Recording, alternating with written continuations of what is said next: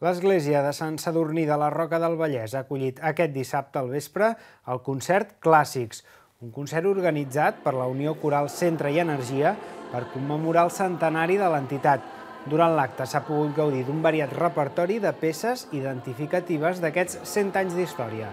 Actualment la coral està fundada per un grup de 22 cantaires que, units per la música, fan créixer dia a dia aquesta entitat, fundada al maig de 1916. L'associació serà enguany l'encarregada de fer el pregó de la Festa Major i també té previst fer un concert al setembre per continuar amb la celebració. També farem al setembre un concert també del centenari, amb fotografia um, i en parlar, eh? o sigui, hi haurà una persona que estarà explicant tot el que és la història de la coral i nosaltres anirem cantant, no cançons potser senceres, perquè seran cançons d'aquelles sardanes i molt, molt feixugues d'abans, però intentarem anar fent com una mica de, de tastet de cada cançó d'abans.